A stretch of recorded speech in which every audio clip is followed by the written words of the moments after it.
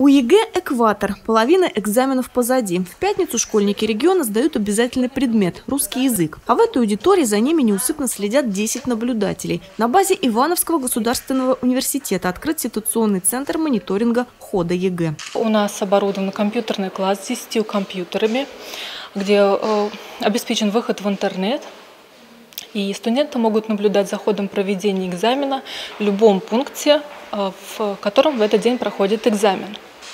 Более того, интересно, что те метки, то есть нарушения, которые видят студенты, одновременно их могут также и увидеть организатор в пункте проведения экзамена, что позволит максимально быстро их устранить.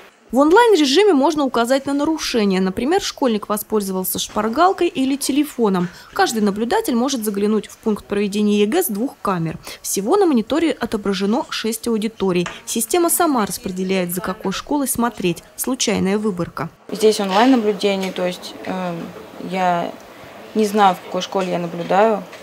Э, могу тоже добавить, допустим, нарушение могу включить другую камеру.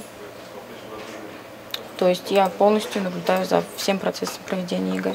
Понаблюдать за экзаменом по русскому языку смог и губернатор Павел Коньков. Главе региона рассказали, что наблюдателями в этом году стали 60 студентов. Все они прошли специальное обучение и отлично знают, что допустимо в пунктах ЕГЭ, а что нет. Если у него возникли какие-то вопросы, ему нужно выйти в медкабинет или в уборную, он должен поднять руку, к нему должен подойти организатор, подвести его к двери, а там его встретит уже другой организатор, отвечающий за проход.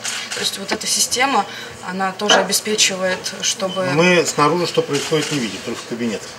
Да. И в штабе проведения. И в штабе. Высказал губернатор и свое мнение по поводу ЕГЭ. Систему он считает правильной и логичной. Личные отношения педагог-ученик больше не влияют на результат. А что касается тотального контроля, еще пару лет, и он станет делом привычным. Те, кто сдают ЕГЭ, э, они этой комнаты не видят. И э, вот э, какое-то реальное давление на них, вот такой контроль, он оказать не может. В переходный период стрессов было достаточно много.